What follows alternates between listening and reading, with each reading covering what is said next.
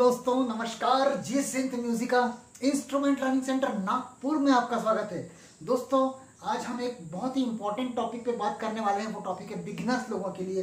वो टॉपिक ऐसा है कि perfect finger position on flute मतलब हम फ्लूट पर फ्लूट को किस ढंग से पकड़े कि हमारी फिंगर पोजीशन परफेक्ट हो। अलग अलग फ्लूट के लिए पोजीशन अलग अलग होती है। तो सबसे पहले मैं बहुत इंफॉर्मेशन आपको इंपॉर्टेंट इंफॉर्मेशन देना चाहूँगा कि सैनिटाइजर का यूज़ कीजिए, मास्क पहनिए और जितनी जल्दी हो सके आप वैक्सीनेशन ज़रूर करवा लीजिए। सेफ़ रहिए स्ट्रांग रहिए, सुरक्षित रहिए। तो आइए चलते हैं अपने टॉपिक की तरफ़। लेकिन टॉपिक की तरफ़ चलने से पहले मैं आपको एक बहुत ही इंपॉर्टेंट चीज़ बताने वाला हूँ।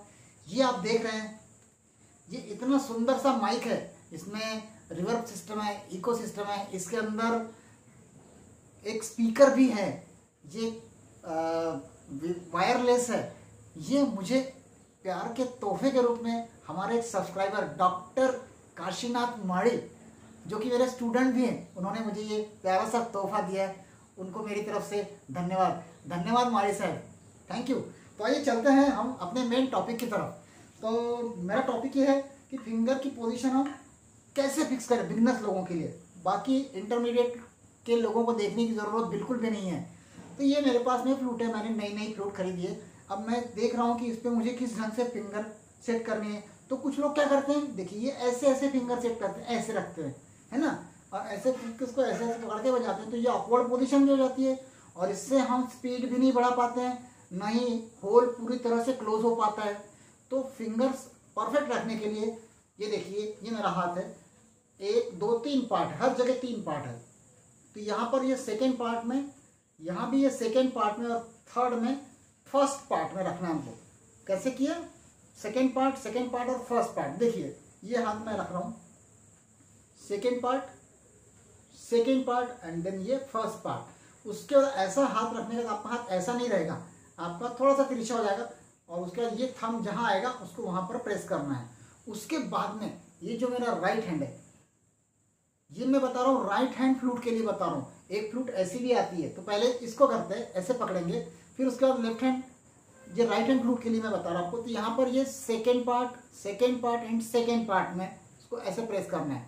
कुछ लोग ऐसे रखते हैं, जो कि तरीका बिल्कुल भी गलत नहीं है, लेकिन हम जब फास्ट प्ले करते हैं तो फिर वो बराबर फिंगर्स नहीं आती है, या होल क्लोज नहीं होते, या दूसरी प्रॉब्लम्स आती है। इसलिए इसको इस ढंग से ऐसा सेकेंड पार्ट पे प्रेस ये रखना है, और इस ढंग से आपकी पोजीशन हो जाएगी। देख लीजिए आप। इसके बाद आपके फिंगर्स भी सही चलेंगी। ठीक है? तो इस ढंग से हमको ये सी मेजर स्केल की फ्लूट पे मैंने आपको बताया। इस ढंग से इसको रखना है और फिर हमको बजाना बजाना तो मैं आपको सिखा ही रहा हूँ। मेरा मेरा काम इस वीडियो में आपको सिर्फ़ ये बताना है कि फिंगर पोजीशन कैसी परफेक्ट रखी जाए। उसके बाद में ये जो है थम ये इस फिंगर के नीचे आएगा थम यहाँ पर। और ये फिंगर हमारी यहाँ पर रेस्ट भी कर सकती है, ऊपर भी रह सकती है। और ये फिंगर ऊपर भी रखो, नीचे भी रखो, कहीं भी रखो, कोई प्रॉब्लम नहीं है। बस इस ढंग से आपको पकड़ना है।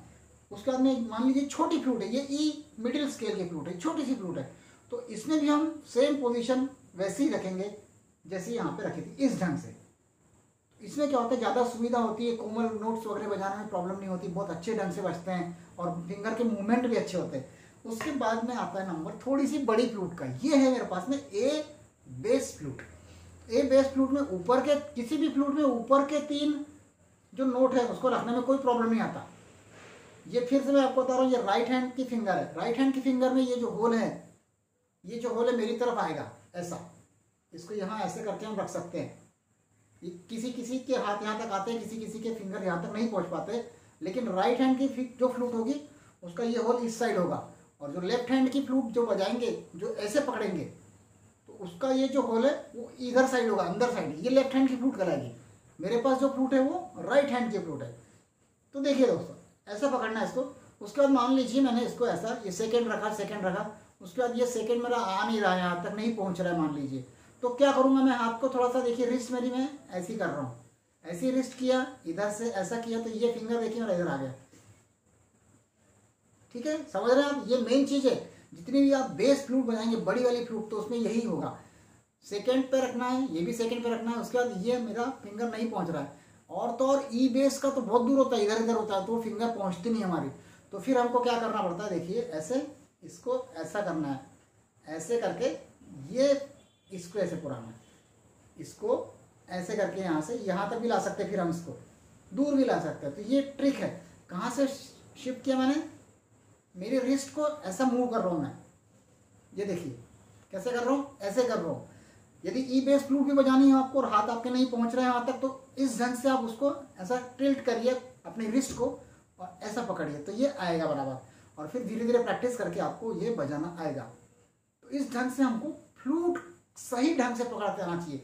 यदि आपने पहला ही लेसन फ्लूट सही ढंग से पकड़ने का सीखा तो आपको आगे कोई भी प्रॉब्लम नहीं आएगा। और दोस्तों, यकीन मानिए कि आप सिस्टमेटिक मैनर में सीखते हैं ना तो आपको कोई भी बंदा रोक नहीं सकता अच्छी फ्लूट बजाने से। इसके बाद भी मैं आपको ऐसे ही थ्योरी के थोड़े थोड़े लेसन बताऊँगा। तो इस लेसन को देखने के बाद आप कैसा महसूस करते हैं? क्या लगता है? आपकी पोजीशन यदि गड़बड़ होगी तो आप उसे सुधारिए, ठीक करिए और मुझे बताइए कि आपको वीडियो कैसा लगा और आप किस टॉपिक पे मुझसे क्या पूछना चाहते हैं, वो टॉपिक मुझे बताइए। Thank you